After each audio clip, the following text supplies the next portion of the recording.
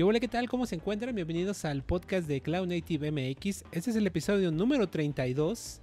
Eh, mi nombre es Domingo Suárez desde Ciudad de México y como siempre es un gusto estar aquí con el buen...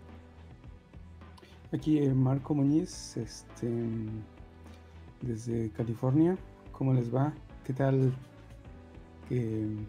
han sentido estos días sin nosotros? Fueron, fueron dos semanas, ¿no? Este, que no grabamos.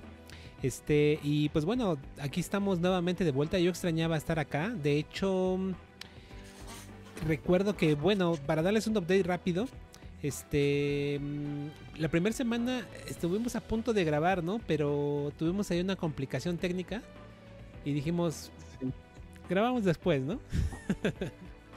sí, este andaba medio puteado de la chamba y eh, me estaba cayendo de sueño y, pues decidimos posponerla y después este otras cosas surgieron. Sí, no manches. La verdad es que yo espero que todos los que nos escuchan se encuentren muy bien, se encuentren sanos, este, y si se enferman, que bueno, se pongan, eh, pues bueno, tengan mucho cuidado y se, y se cuiden mucho. Este, yo, me espanté mucho, la verdad, porque justamente me, enfermé. Eh, y fue algo muy raro porque generalmente no me enfermo eh, de la gripa y así.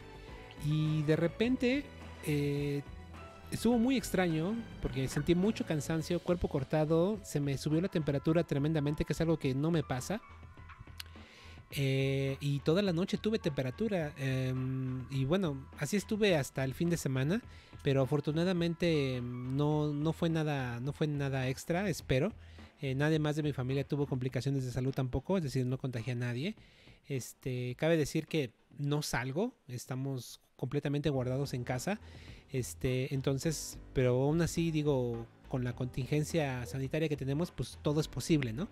Entonces, eh, pues bueno, la verdad es que sí estoy muy agradecido porque no, no, pasó a mayores, pero sí fue muy extraño. Entonces, em, la verdad es que no dejo de cuidarme junto con mi familia y creo yo que esa preocupación eh, todo mundo la debe tener ahora porque creo que al menos en Ciudad de México hace unos días anunciaron que van a, vamos a pasar de semáforo rojo a semáforo amarillo eh, y espero que muchos de los que nos escuchan no tomen eso como, ok, ya podemos hacer las cosas como antes. Eh, no. Eh, yo escuchaba en, Twitter o en Facebook, no, no recuerdo dónde lo vi, pero decían, el hecho de que estemos en semáforo amarillo significa que ya hay una cama en el hospital disponible para ti. entonces está, está cañón el pedo, pero bueno. Este, pues abrazo a todos, espero que se encuentren muy bien de salud, ¿no? Porque la verdad es que es una preocupación constante, ¿no, Marco? Allá, allá por donde andas, ¿cómo, cómo anda la cosa? Pues ya se, han abierto muchas, muchos negocios, ya vas a ver varios de ellos ya con personas, este, eh, ya dentro del restaurante comiendo en grupos inclusive hay otros que, que sí restringen el acceso y mantienen como una separación entre las mesas. Este, hace, la semana pasada fui a un desayuno con eh, unos amigos y sí nos dijeron, este, pues ahorita espérenos hasta que se descupe una mesa, a pesar de que había mesas este, separadas, este, para mantener esa distancia, distanciamiento. Entonces, este, al final, pues sí, nos dieron una mesa, pero sí eh, aislado de los demás. Este, pero he visto otros negocios que pues no, mm, así es ya como normal, eh, como si nada hubiese pasado y pues ya se ven ahí todos este, las, eh, las masas de, personas ahí. Entonces, este, pues veamos qué, qué tal se pone, ¿no? Digo, la verdad es que se entiende porque estamos así desde marzo, ¿no? Eh, entonces ya mañana es julio. Hoy, el momento de estar grabando este podcast es martes 30 de junio a las 10 y media de la noche, eh, al menos en Ciudad de México. Eh, ya mañana es julio, o sea, ya tenemos bastantes meses en esta situación. Pero mientras no exista una vacuna o un tratamiento contra esto, está muy, muy complicado. Y pues bueno, espero que mm, quien nos escuche allá afuera eh, se encuentre bien y, haga lo posible. Ojalá, ojalá tengan el privilegio de poder trabajar en casa em, y, que obviamente pues también conserven su empleo porque es otra de las cosas que desgraciadamente está pegando muy fuerte. Entonces pues un abrazo a todos, a todos los que nos escuchan y los mejores deseos que se cuiden y que ojalá sigan estando así mucho más tiempo, ¿no? Eh, y que si cuando nos enfermemos todos, porque eso eso va a ocurrir, la verdad es que este, este virus nos va... Eh, creo que por ahí también había estudios, ¿no? De que se va a volver estacional. Pero ya cuando nos pegue, ojalá ya exista una vacuna. Entonces, pues esperemos que ya no nos... Que ya no sea tan... Eh, pues es que como es nuevo, no sabes cómo te va a afectar, ¿no? Pues es complicado. Sí, no sabemos cómo reaccione. Y este... Y... Pues sí, también nosotros no, estamos eh, acostumbrados a estar, eh, o bueno, muchas personas no, no están o no estamos acostumbrados a, permanecer este, tanto tiempo en, un solo lugar y porque no, es nuestro, nuestro, o no era nuestra eh, vida diaria. entonces, pues sí, todo es, todo es muy distinto, ¿no? Como ahora estoy llamado a la, nueva normalidad. Entonces, todo, nuevo. Claro, y de hecho justamente el día de hoy vamos a hablar de un poquito de ese tema, ¿no? Que hay unos cambios interesantes de algunas empresas eh, y cómo, cómo, van a afrontar esta nueva normalidad. Entonces, pues bueno, vamos a comenzar porque el día de hoy traemos contenido atrasado de hace tiempo. Entonces, son bastantes cosas las que vamos a comentar el día de hoy. Entonces, pues bueno, Vamos a empezar, ¿no, Marco? ¿Te parece? Sí. Bueno, em, nos vamos, eh, vamos a tratar de irnos rápido y empezamos con esta eh, noticia que la CNCF eh, anuncia lo que ellos llaman radar tecnológico y pues básicamente están basados en, una, en un formato que tiene ThoughtWorks, que es como que ellos están viendo qué tecnologías hay en, en, el mercado y, pues ven como su impacto en, en, las empresas y este y cómo, cómo, cómo, las vienen usando, cuál es su madurez y de acuerdo a eso pues le dan un este como un un estatus y es eh, mm, prácticamente lo mismo que están haciendo que está haciendo la ciencia pero para proyectos este cloud native y pues este y em, ellos le em, eh, los, los marcan en, cuatro eh, estatus que son eh, adoptados o adopt como de prueba y de, no sé cómo llaman, traducirlo assets. Assets em, y de hold. Entonces este los que ya son proyectos que están muy maduros ya están en el estatus de adopt, los que están como de prueba, pero tal vez como usados en mediano eh, plazo, pues están en trial, y los que están seminuevos y apenas están explorándolos, eh, assets. Entonces, este, inclusive en la parte de abajo este, hay una pequeña gráfica que, que muestra algunos proyectos ya en, dentro de esos estatus, ¿no? Eh, como por ejemplo, este, eh, en la parte de Adopt, pues ya está Helm, Flux, eh, y pues ahí van a ver otros proyectos. Y eh, bueno, en la siguiente liga, pues es prácticamente la, este, la presentación de este nuevo, no sé cómo llamarlo, este, no proyecto, pues, pues sí es como un proyecto, ¿no? Una, mm, un estudio, ¿no? Que seguramente van a estar lanzando periódicamente, ¿no? Sí, y pues bueno, eh, ah, tenemos la presentación, eh, digamos que oficial y con de, todo lo que describe un poquito más a fondo. Eh, ¿Cómo se llama? La directora eh, Cherlin Hong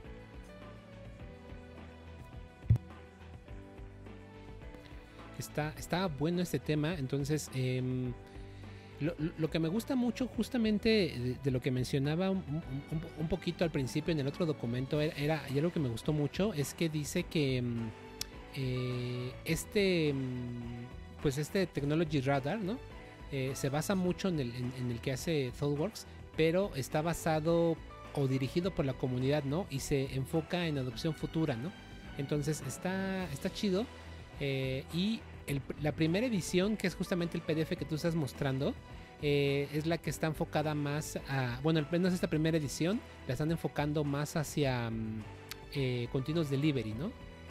Entonces, este, está, está chido, entonces les dejamos esa referencia y seguramente vamos a estar hablando en, ediciones futuras justamente de los distintos em, ediciones, ¿no? Que van a estar sacando más adelante, que seguramente pues hay muchos más, este, conceptos importantes ahí de los cuales hablar, ¿no?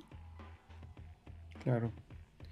Bien, entonces. Y, pues nos pasamos al siguiente y es este una eh, nota de eh, Google. Y pues ahora con eso de, la pandemia, pues este su programa de de, eh, de internos, internado, no, internships, Ajá. Los becados, ¿no? Algo así como... Los becarios. Becarios, Este, pues ya no podrán asistir a sus oficinas y como ya ven, muchas empresas están eh, adoptando el trabajo desde casa o este, pues lo que hizo o planea Google es de que seguir aceptando a estos becarios, pero en lugar de que trabajen para proyectos dentro de Google, eh, pues los va a ofrecer para que que es, contribuyan a, proyectos open source. Eh, y pues por ejemplo, este Kubernetes, em, ¿qué más? Em, eh, Tensor, TensorFlow, Istio, Chromium, eh, Apache Beam.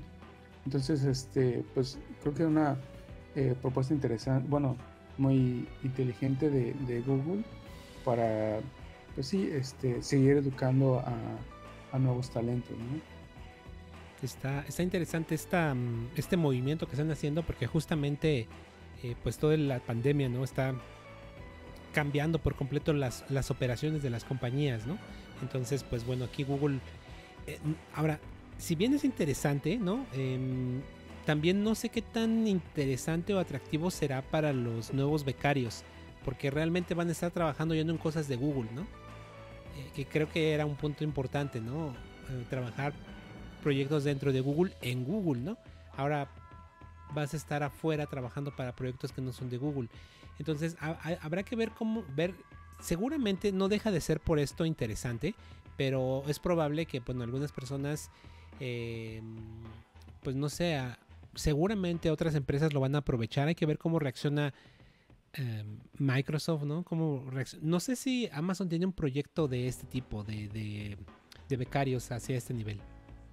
No, pero yo creo que es una, una, propuesta interesante porque eh, este tipo, al momento de aportar a proyectos open source, les da más visibilidad a, este, a los becarios y pues este sí pueden, pueden que no lleguen a, conseguir un, un, empleo dentro de Google, pero pues eso les puede abrir puertas hacia otras empresas eh, eh, en, el, en, el, ámbito. Entonces, eh, pues yo lo veo como un poco más de oportunidades que les pueden llegar.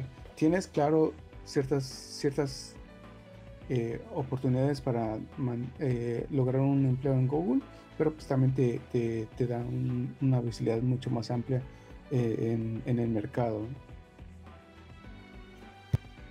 Claro, tiene todo el sentido, ¿no? Excelente, pues bueno, eh, nos movemos a la siguiente que es una nota interesante de seguridad, ¿no? Que nos está afectando a los usuarios de Kubernetes, ¿no? Sí, y esto este, pues fue anunciado en, mayo, finales de mayo, y pues es una brecha de seguridad que tiene el, el, el, controller manager del, del cluster y pues ahí este, vemos este, las versiones que están afectadas, inclusive hasta la 1.18. Eh, y hay un, pequeño este, post de cómo, cómo mitigar este, esta vulnerabilidad.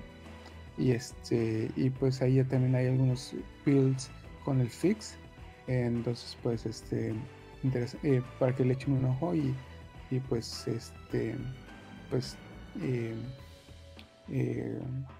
eh, pongan pongan el parche este lo más pronto posible vientos la siguiente nota, otra nota del sitio web de la CNCF, ¿no? Em, y es un, eh, pues un nuevo bootcamp también, ¿no? Para el tema de educación, ¿no? Para, seguramente para, el tema este de las certificaciones, ¿no? Que hemos hablado en varias ocasiones de, él, ¿no? Sí, y pues lo que hacen, eh, como mencionas, es lanzar este bootcamp que eh, abarca varios, varios temas.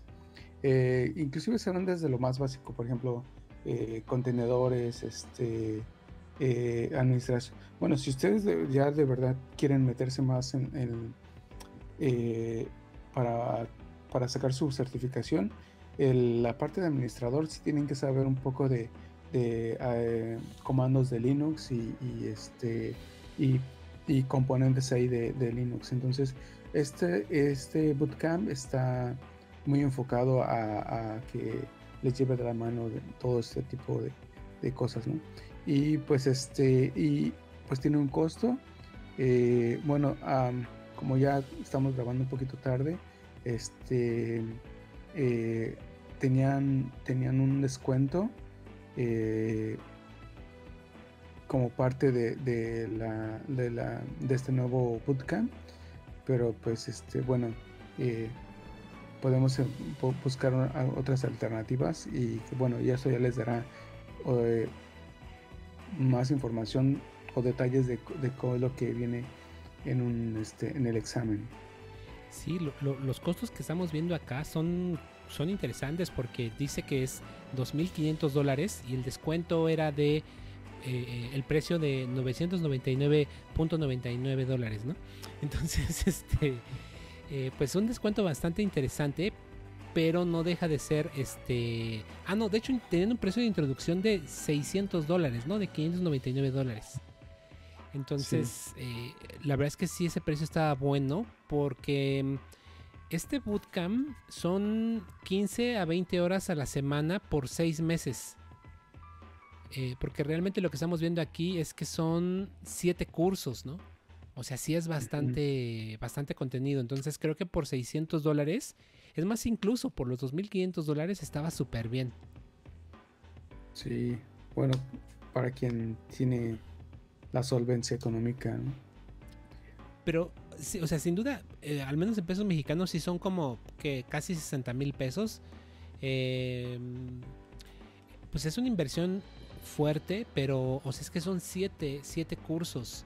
¿no? Em, acá en México yo, yo he visto algunos eh, pads de certificación o de capacitación que incluyen dos o tres cursos, este, probablemente por unas 100 horas de capacitación eh, y que cuestan eso, eso mismo. Entonces, este, sin duda la capacitación es cara, pero creo que este precio que estaba introduciendo la, la CNCF está bastante bueno. Y en el de 600 dólares estaba increíble, ¿no? Entonces, eh, a ver, le voy a picar aquí enrolarme ahora. Y vamos a ver si sigue disponible. Eh, creo que sí. Eh, el 30 de junio, hoy que se está grabando esto, hoy expira este cupón. Desgraciadamente. Entonces, cuando publiquemos este podcast ya no va a estar. Es el Cloud Engineer Bootcamp de la Linux Foundation. Sí, qué mala onda. Todo por enfermarme, chinga. 24 semanas de capacitación, ¿eh? Es lo que estoy viendo acá en su, en su temario. Está muy chido, ¿eh? Qué buena onda. Sí. Vientos. Perfecto, pues entonces vamos al siguiente, a la siguiente, a la siguiente nota que tenemos por ahí, que es eh, un blog post, eh, pues seguridad, ¿no? Que le hemos estado dando mucho énfasis en este podcast, pues casi en cada, en cada edición, ¿no? Sí, es un proyecto interesante eh, de Aqua Security que viene de dos piezas. Una que es el plugin para eh, Qt Control, el, el, comando Qt Control, y también vienen unos este, CRDs que, eh, instalamos en nuestro clúster de Kubernetes. Y realmente el proyecto eh, pues es para que pueda detectar vulnerabilidades en nuestro clúster de Kubernetes. Este, entonces, em, al, tener este, ¿qué más? Eh, al estar, eh, eh, al tener CRDs, pues está ahí diagnosticando este, nuestro cluster, porque requiere los accesos necesarios para poder hacer todo eso, ¿no? Y pues bueno, en la parte de abajo te muestra este un videito de, la interfaz gráfica que ustedes podrán este, ver em, em, con, este, con esta herramienta. No manches, está, está bien chido este proyecto, no lo conocía. el proyecto se llama em, Starboard. Entonces, por lo que vi acá son tres cosas, ¿no? Que es justamente el plugin de Cube Control, eh, los, los CRDs. Ah, no, son cuatro cosas. Eh, un módulo de Go, seguramente para que puedas integrarlo a, pues a tus aplicaciones o, o extender, ¿no? O extender este, estas capacidades. Y un plugin para Octant, que esto no lo conozco, no, no sé qué onda con Octant. Este. Está, está chido este, este pedo, eh, me, me, gustó bastante. Ah, a lo que me refería que eran tres cosas, es que incluye eh, el escaneo de vulnerabilidades de containers de la herramienta esa que se llama Trivi. Este, una herramienta de benchmark de Cube Control, bueno, más bien de, Kubernetes que se llama Cube Bench. Y una herramienta que no conocía, que me gustó mucho, o al menos la idea, se llama Cube Hunter. Es una herramienta de, eh, de, pen testing. Entonces, eso está bien chido. hay que echarle, le voy a echar un vistazo más. Eh, no la conocía y es un proyecto obviamente de AK Security eh, y me parece que es open source, este Cube Hunter. Entonces supongo que también lo vas a poder utilizar de manera mm, independiente y aislada. Creo que sí. Eh, o en conjunto, ¿no? Con esta, mm, con esta suite, ¿no? Que se llama Starboard. Sí. Sí, tampoco conocí esos proyectos y creo que, bueno, les vamos a echar un ojo. Están mamones, güey. Sí, están tan chingones. Oye, pues siguen poniendo la barra muy, muy alta a estos cuates de, de Aqua Security. Qué chingón. Sí, muy bien por ellos. Vientos. vámonos a la siguiente nota que tenemos por ahí, que es eh, de tu empresa favorita, ¿no, Marco? sí, y es este. Pues bueno, Amazon anuncia que ofrece el soporte eh, eh, para em, repositorios de código o repositorios de, paquetes de, eh, de, código. Y pues eh, básicamente es como un em, Artifactory y pues tiene soporte para prácticamente los más eh, lenguajes más comunes este Node Java Python tienen también ahí para este eh, algunos assets de, Android, eh, Maven. Eh, y pues bueno, esta guía pues, les muestra cómo crear su, su, em, su repositorio y, pues bueno, cómo usarlo. ¿no? Otra herramienta muy interesante que tiene Amazon para todos los, los que somos usuarios de su plataforma, ¿no? Y nunca nos salgamos de ahí. Está, está chida la, idea, ¿no? Porque, digo, al final del día, si ya tienes todo montado en Amazon, pues. Eh, seguramente será gratis, ¿no? Y te cobrarán solamente por el almacenaje de S3. Tal vez sí. No revisé los precios. Que es como su su estrategia, ¿no? O sea, el servicio es gratis, nada más te cobran el pues el uso de los servicios, ¿no? Su integración con otros servicios. Sí, no, no, por, ahí debe venir, al menos aquí en esta página no, no, no veo los detalles, pero seguramente en la página del producto debe venir, ¿no? Entonces, se llama AWS Code Artifact, ¿no? Y es básicamente para artefactos, ¿no? Ah, ok. El precio es este de 5 centavos por gigabyte. Está todo dar. Está todo dar. Entonces sí puedo subir mis containers de 2 gigas. Ah. Bueno, pero también hay otras restricciones. Los requests son este 10.000 requests por otros 5 centavos. Ok. Pero eh, está muy cabrón que en un mes hagas 10.000 requests al repo, ¿no? Sí. ¿O, sí? Quién sabe. Ya por ejemplo con en la empresa, pues este no tengo idea, pero yo creo que sí la, andaremos pegando a, algo así. claro. bueno, sí, después. Si tienes un montón de pipelines. Claro, claro. Sí, y aparte que ya cada vez quieren, eh, con esto de los microservicios, pues quieren eh, crear nuevos y nuevos proyectos y es un desbarajuste cuando les das renta suelta. entonces Va que va. Pues bueno, movámonos a la siguiente nota.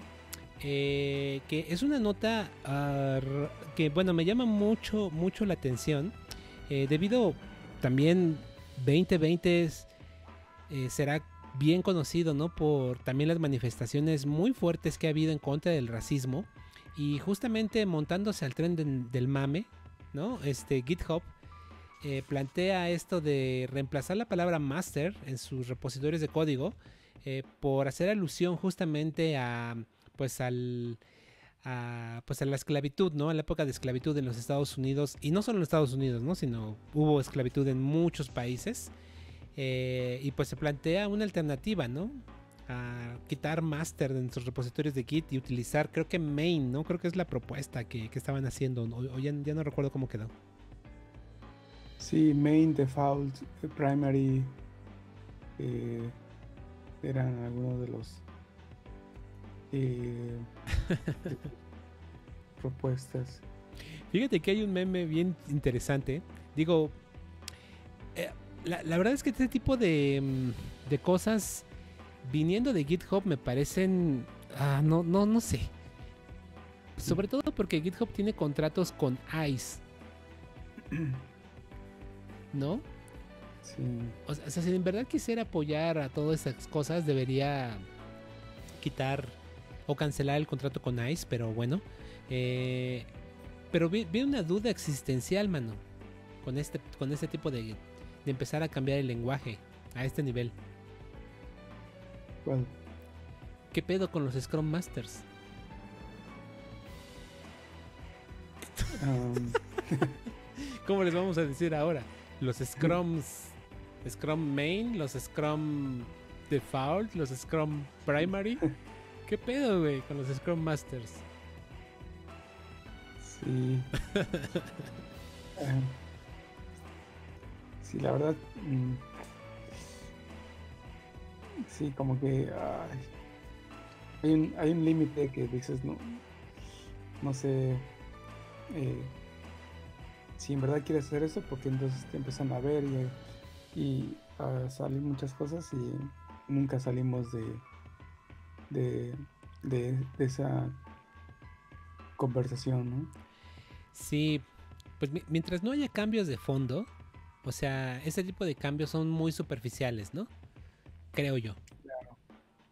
Eh, si viéramos en el staff de, de GitHub que hay más gente eh, de otras etnias, hay más hispanos, hay más, em, eh, más afroamericanos, este, más musulmanes, ¿no? De Oriente Medio, este, pues dices, ah, ok, qué chingón, ¿no? Pero si todos son eh, blancos,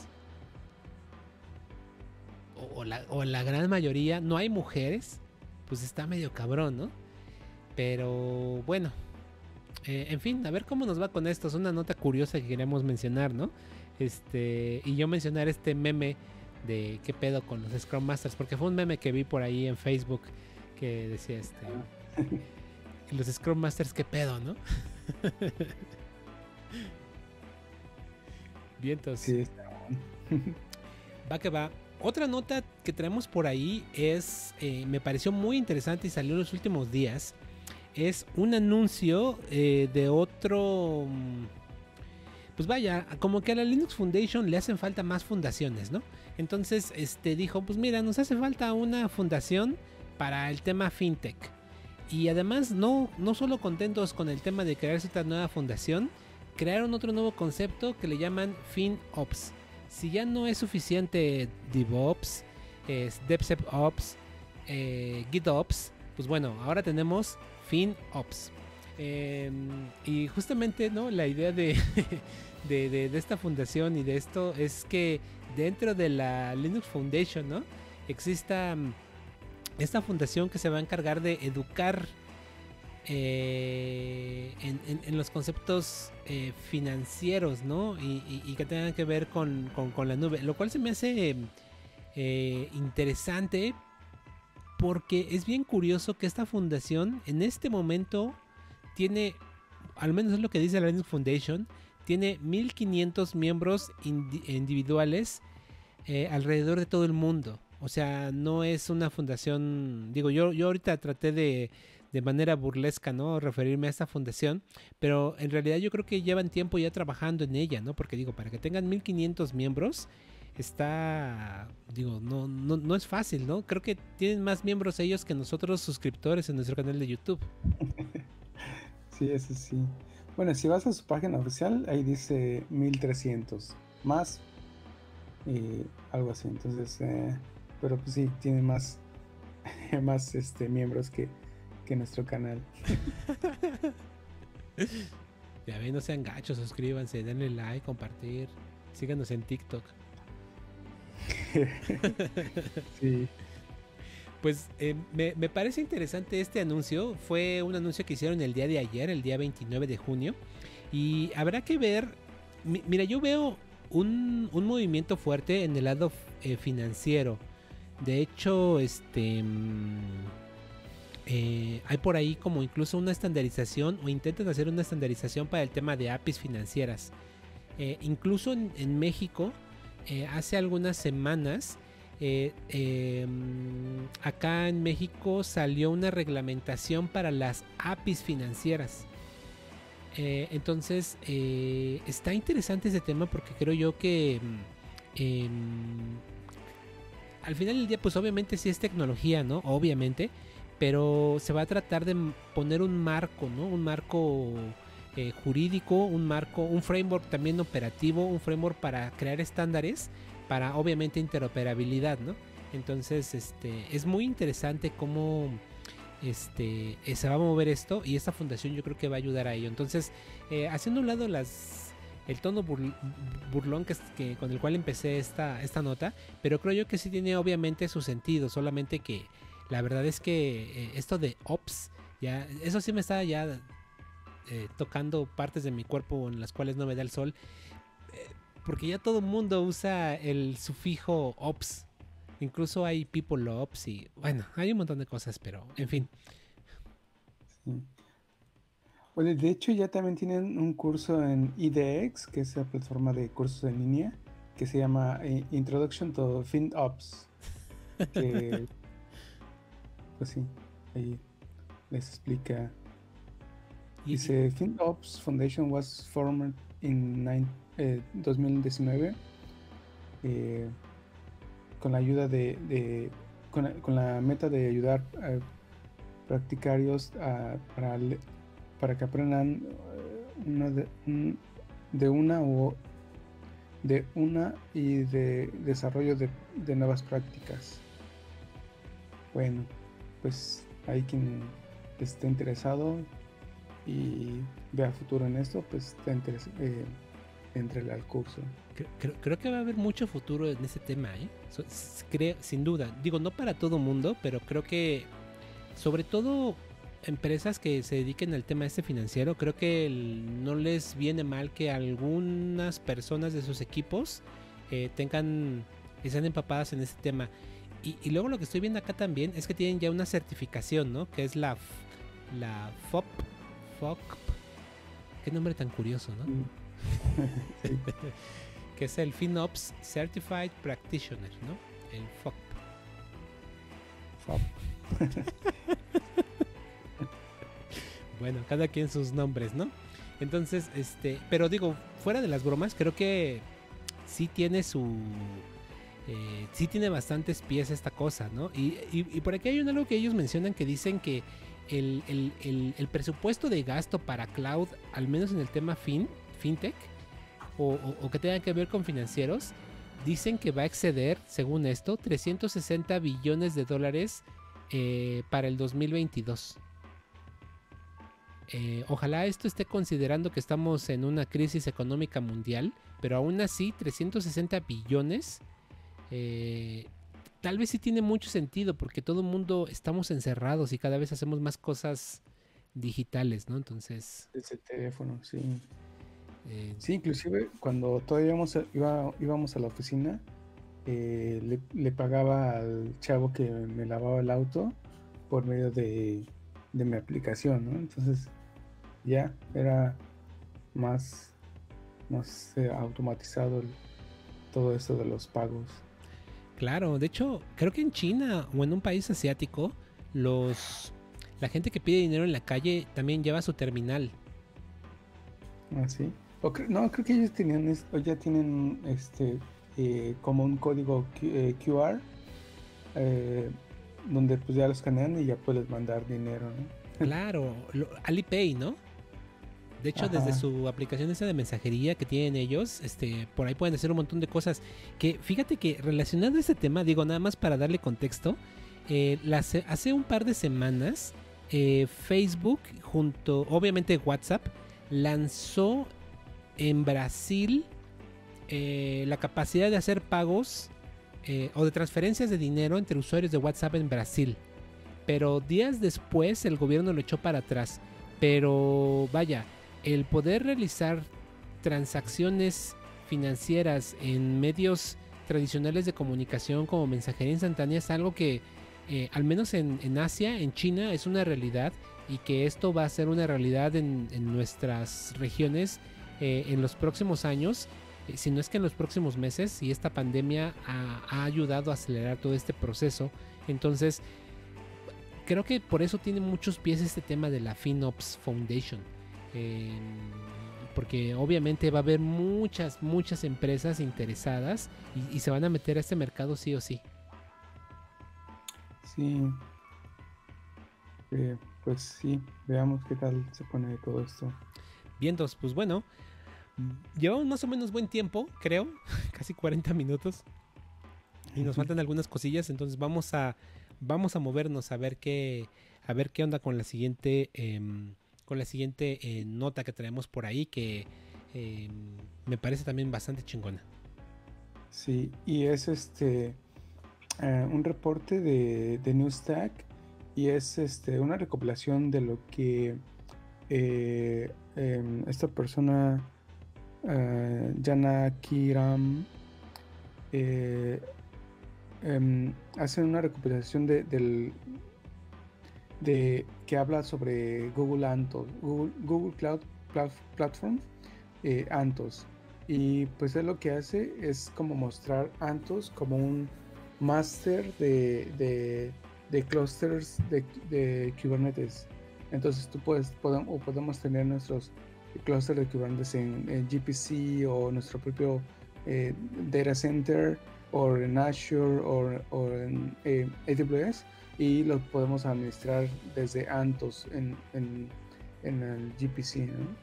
Entonces, este, eh, pues de hecho el, reportaje está muy eh, extendido y pues este pues, ahí nos da unos, nos muestra unos diagramitas de cómo funciona eh, este concepto de usar este Antos como ahí en uno de esos le llaman Antos Control Plane que es este que administraría los clusters en diferentes eh, cloud providers.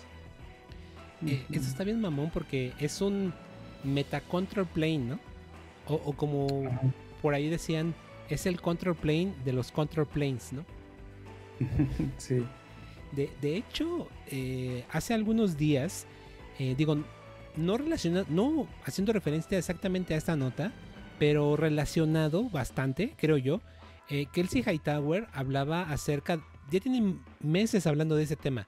Em, ¿no? Este Kelsey Hightower, que es este developer advocate de Google y que sabe muchísimo de Kubernetes, él hablaba, bueno, ha hablado durante muchos meses acerca del Cluster API.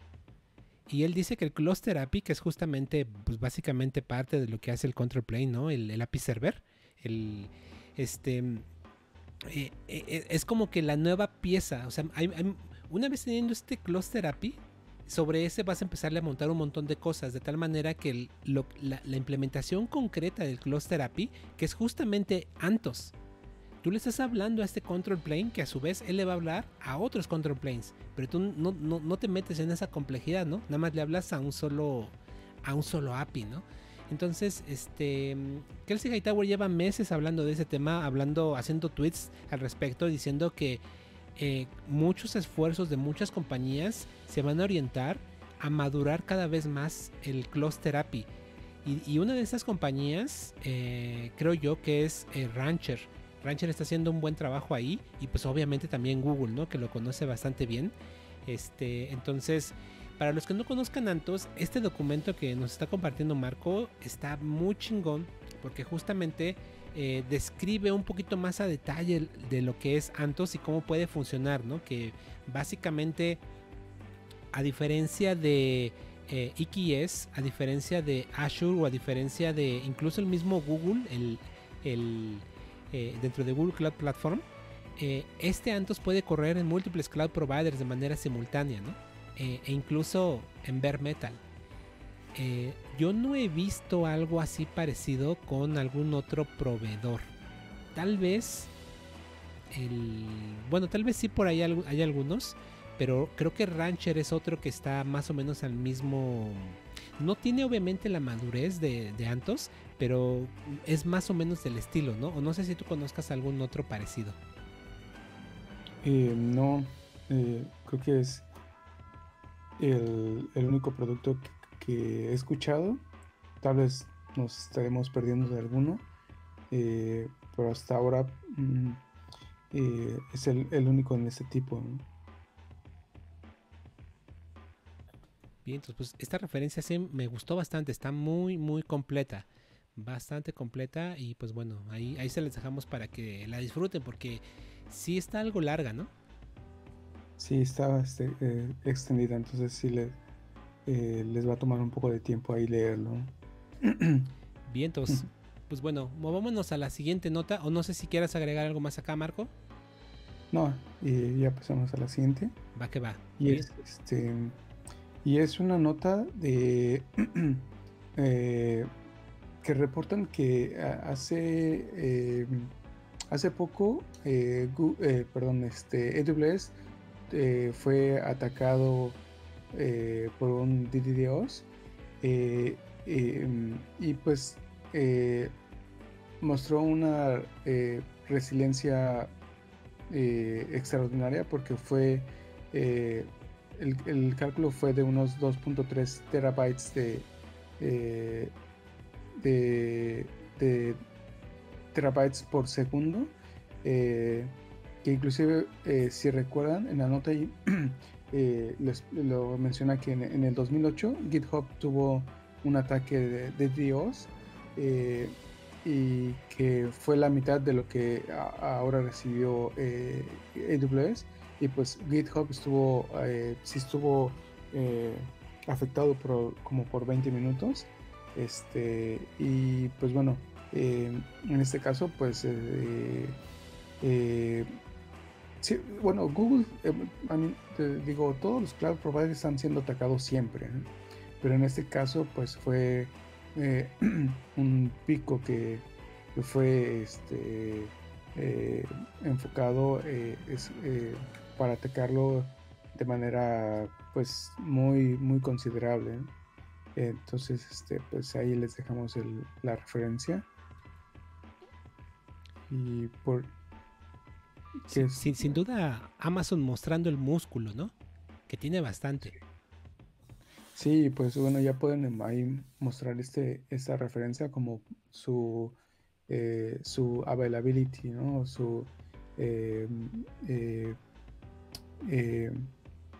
ah, se me olvidó este concepto del SRE.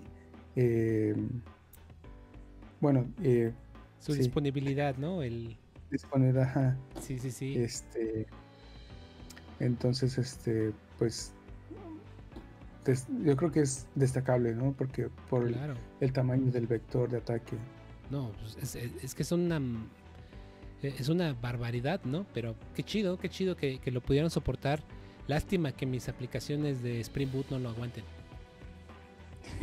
sí. Bien, entonces, em, pasamos a las referencias. Eh, que hemos encontrado por ahí. Y justamente están algunas de estas encaminadas a, por ejemplo, esta, ¿no? Para obtener la certificación, que me parece bastante buena. Sí, tenemos otro. Em, otra referencia a cómo puedes certificarte, obtener tu certificación de, de eh, administrador de Kubernetes y también este de, desarrollador. Ah, no, perdón, esa es exclusiva de desarrollador. Eh, entonces, este, pues ahí les, les muestra que, como un temario, este, algunos, eh, algunos tips y, trucos. Este, y pues sí.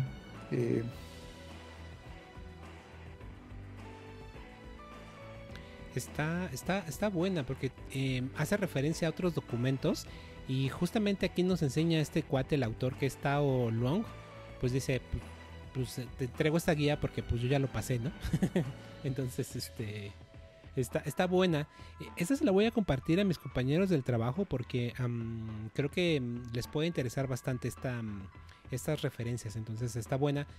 Este, y está otro documento que tenemos ahí que son tips, ¿no? Para preparar justamente la certificación de developer también. Sí, bueno, eh, algo que sí eh, tienen que enfocarse si están trabajando para eh, o preparándose para su certificación es de que la línea de comandos. Entonces, este, realmente pues les piden que, que hagan algún creen algún YAML para un deployment eh, jamás, jamás piensen que lo van a hacer a mano, porque eso les va a consumir mucho tiempo y pues van a terminar fallando. Entonces, esta guía está interesante porque les eh, hace hincapié en eh, los comandos que inclusive hay algunos alias que ustedes pueden crear para que les ayude a, este, a optimizar los tiempos, Y pues más bien se enfoquen realmente a, lograr este, los, eh, eh, las preguntas. Entonces, este, pues sí, el primer punto que inclusive de todos los documentos que hemos compartido y que ustedes vayan a encontrar va a ser enfocarse a la administración de tiempo y aprender a usar este, el, Cube Control para generar recursos y no escribir a manos este, los YAML. Entonces, eso es una constante eh, común en, todos los eh, las referencias para la preparación de las certificaciones. Y fíjate que eh, los tips pues sí están enfocados como a, obviamente, para que te ayuden a hacer más, como tienes 120 minutos para responder las 19 preguntas, pues tienes que ser muy, lo que tú decías, ¿no? No puedes perder tanto tiempo. Entonces aquí hay tips que creo yo que independientemente de si presentes el examen o no, también te pueden servir para ser más productivo en el día a día. Entonces, eh, eso también está chingón. Em, muy, buenas referencias, entonces yo creo que ambas se las voy a pasar a mis compañeros de la chamba para que eh, le echen un vistazo y, y, planeemos juntos, ¿no? El pad de, em, de, de certificación. Sí, está chingón. Va que va. Vientos, pues bueno, pasemos al primer repo chingón de la noche.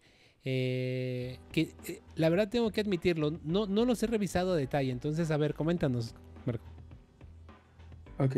El primero, pues, es esta herramienta que se llama eh, Cluster Turn, Down. Y es este. Es una herramienta que lo que nos ayuda es a.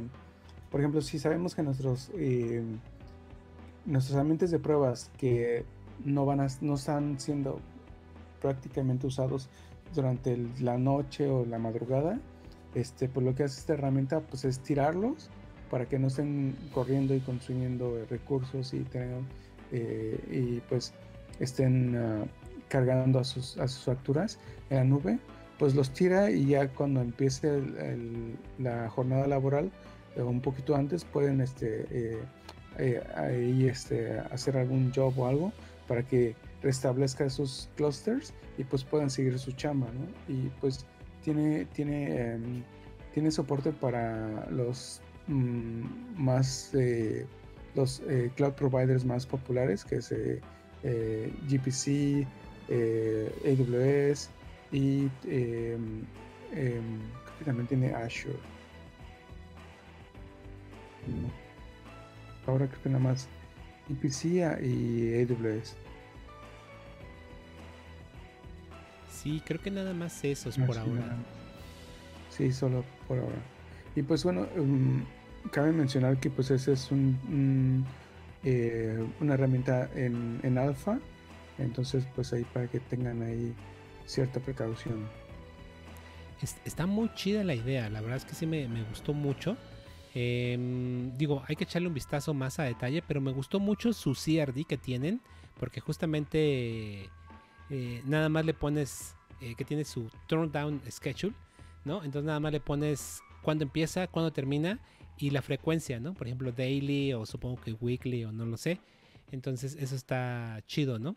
Em, me das muchas ideas con esto porque justamente creo que con esto podemos resolver muchos de los problemas que tenemos en las... En la, en la, de, hecho también, eh, pues si somos flojos, también nos puede ayudar mucho, ¿no? Porque así como llegas a las 9, en lo que te tomas el café, a las 9.30 dices, a esa hora sube todo, ¿no?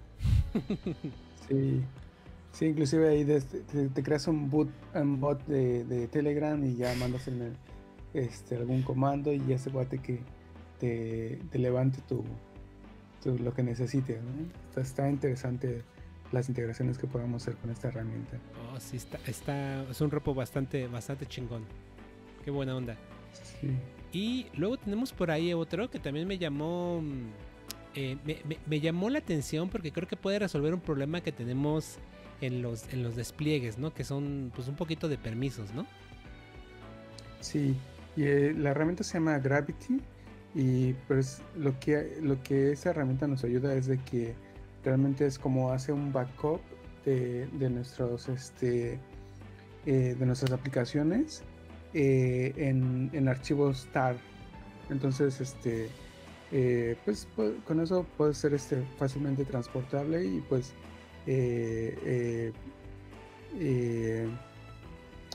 pues bueno al, tenerlo en ese en ese formato que, que Gravity entiende pues lo podemos restaurar en otro clúster de Kubernetes entonces, esa es la idea y pues eh, la herramienta tiene soporte para AWS, eh, eh, GPC y Azure. Em, pues sí, prácticamente es la idea de Gravity. Me, recuerda mucho a otro proyecto de, mm, de, de Heptio, Arc, ¿no?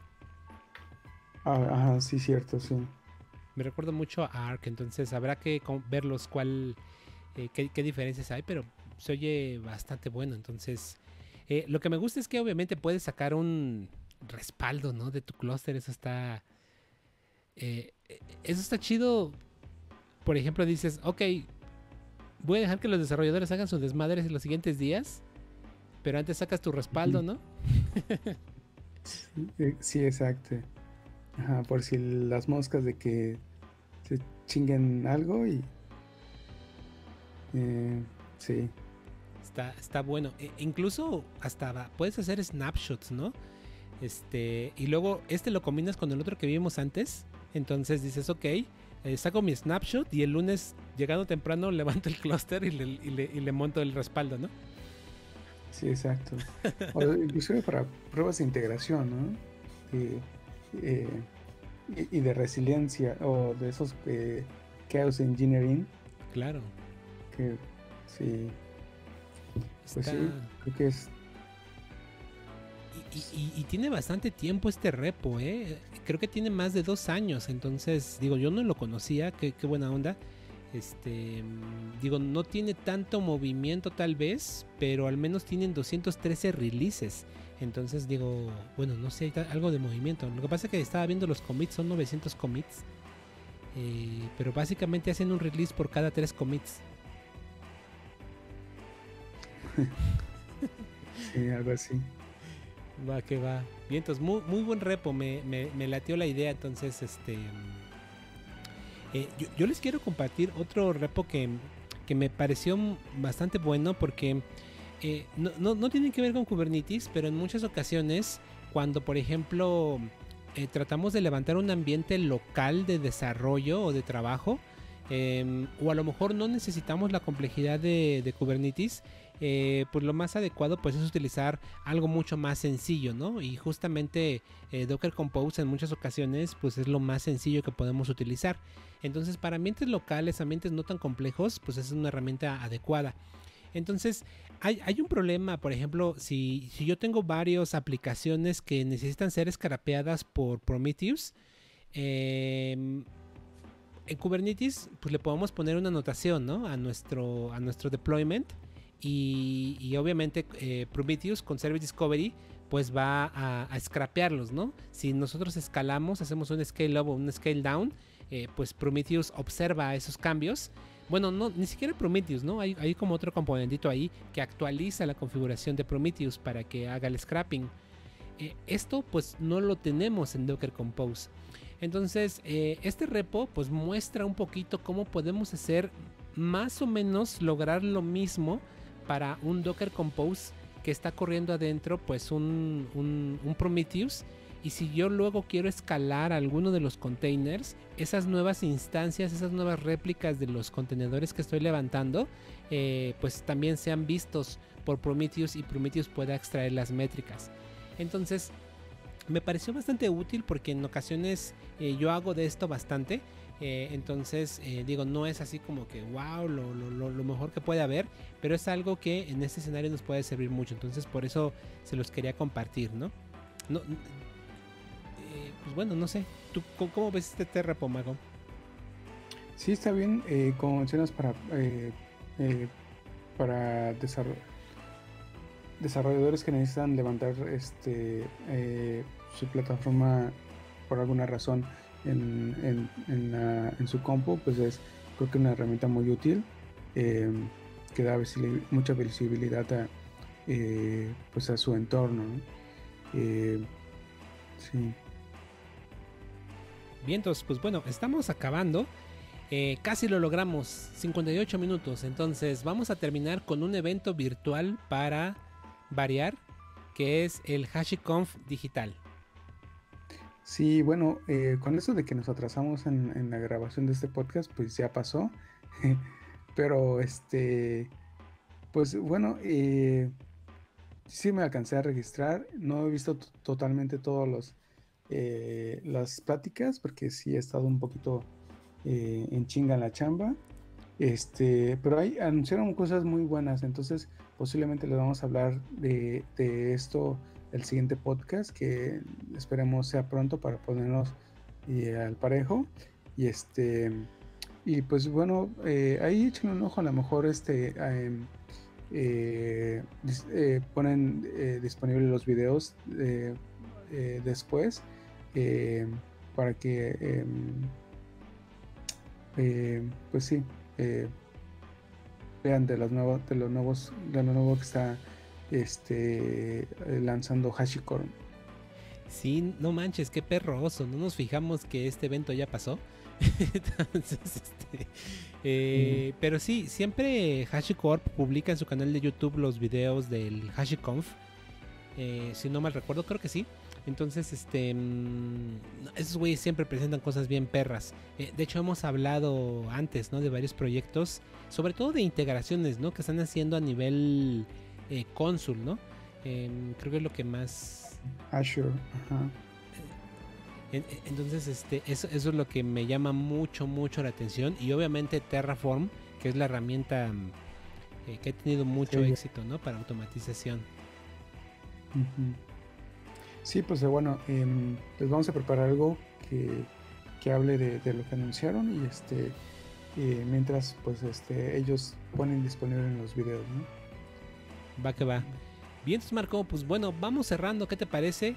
Eh, ¿Qué onda? ¿Qué, qué, más podemos mencionar antes de irnos? Eh, ah, sí, este. Que ahora sí, habíamos dicho, habíamos mencionado algo el podcast pasado, eh, pero por todo eso que sucedió, pues no hemos, no, hemos trabajado.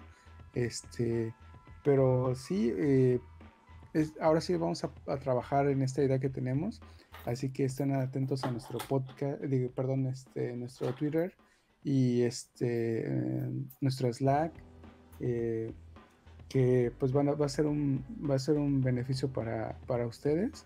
Este, por ahí les podemos dar una idea si suena CubeCon.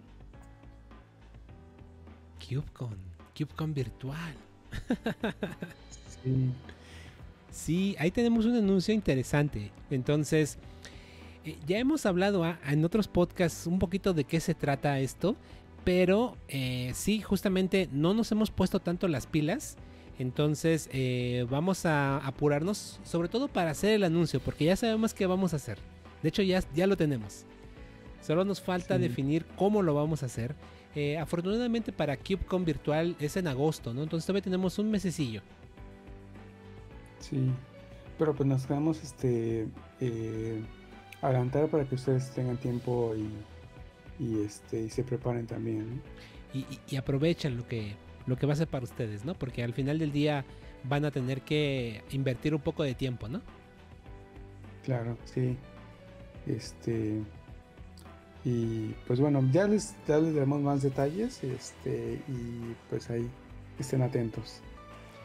Así es, pues qué buena onda Marco, pues bueno, eh, un gusto nuevamente grabar después de dos semanas, la verdad es que ya me hace falta, me gusta mucho grabar este podcast por toda la investigación que hacemos y la plática, que eso siempre es bastante chido.